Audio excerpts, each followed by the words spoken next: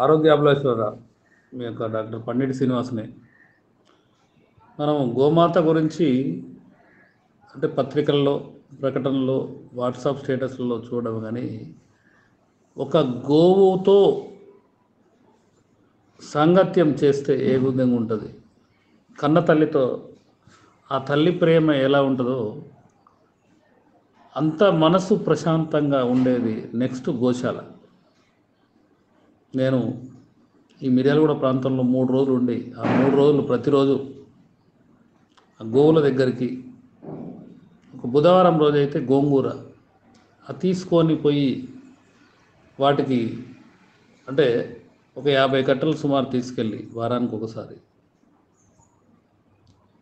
ఆ అమ్మకు అన్నం పెట్టినంత ఆనందం మనసు ప్రశాంతత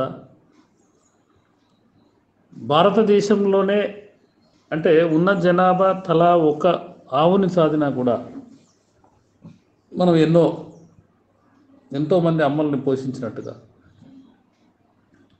కేవలం పేపర్లలో చూసుకొని లేదా పురాణాల్లో ఆవు దేవత సకల దేవతలకు సమ్మేళనం అని ప్రతి ఒక్క వ్యక్తి అనుకోకుండా ఎంతోమందికి వ్యవసాయ భూములు అనేక రకముల పరిశ్రమల్లో కొంత స్థలాలు ఖాళీగా ఉంటాయి.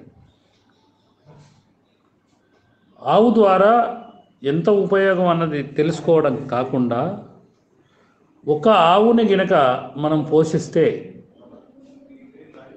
అంతరించిపోతున్న ఎన్నో ఆవులని మనం కాపాడిన వాళ్ళు అవుతాం కనీసం మన ఆరోగ్యం అమ్మ చేతిలో అంటే తల్లి కొంతకాలమే మనకు సహకరిస్తుంది. ఆవు జీవితకాలం సహకరిస్తుంది. కాబట్టి నేను అంటే ఈ గోసేవలో తరించి అనుభవిస్తున్నాను కాబట్టి మిత్రులారా.